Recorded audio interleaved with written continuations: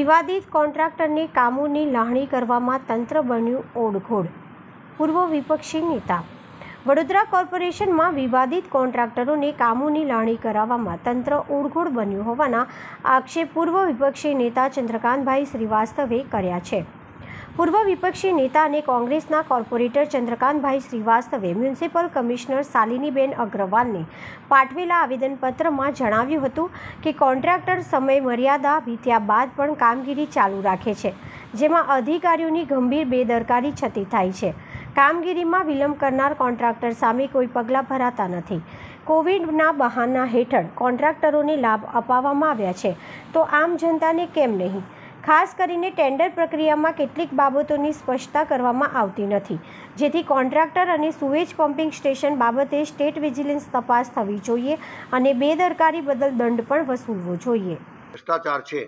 એની અંદર એક હાથે તાલી ના વાગે, બે હાથે તાલી વાગે અને બધા એની સામે બોલી શકતા નથી. બધા ટેન્ડર એના જ લાગે. આ કઈ જાતની રીતિ છે? એટલે બધું મળેલા છે. આ વડોદરા શહેરના નગરજનોના ટેક્સ વડે આવતા પૈસાનો બેફામ દુરુપયોગ થઈ રહ્યો છે અને એની સામે કોઈ બોલી શકતું નથી. દરેક કોન્ટ્રાક્ટર એવું કહે છે કે મારી ઉપર ઓળખાણ છે. લા ભાઈ, હું તમામ પદાધિકારીઓ સત્તા પર બેઠેલા લોકોને કહેવા કહેવા કહેવા માગું છું કે તમારી સૌથી ઓળખાણ જો મોટી રાખવી હોય તો નાગરિકો જોડે રાખો. એમને તકલીફ પડે છે. આજે અમારા વિસ્તારની અંદર આ પાણીનું વિલંબ થયું છે. એનાથી લોકો વલખા મારી રહ્યા છે પાણી. પાણી મળતું નથી અને તમે કોન્ટ્રાક્ટરને બે બે વર્ષ લંબાઈ દો છો. એટલે મારો કહેવાનો સીધો ભાવાર્થ છે કે પ્રજાતંત્રમાં લોકો તમને વોટ આલતા હોય તો એમના દુઃખ સુખના ભાગીદાર બનો, નહીં કે કોન્ટ્રાક્ટરના.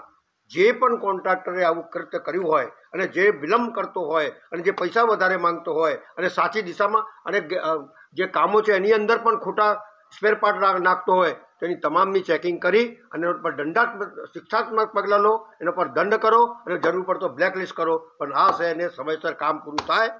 સમયસર એનો ઉપયોગ થાય. એ પ્રકારની પ્રક્રિયા કરો એવી તમારી પાસે માંગ મૂકું છું.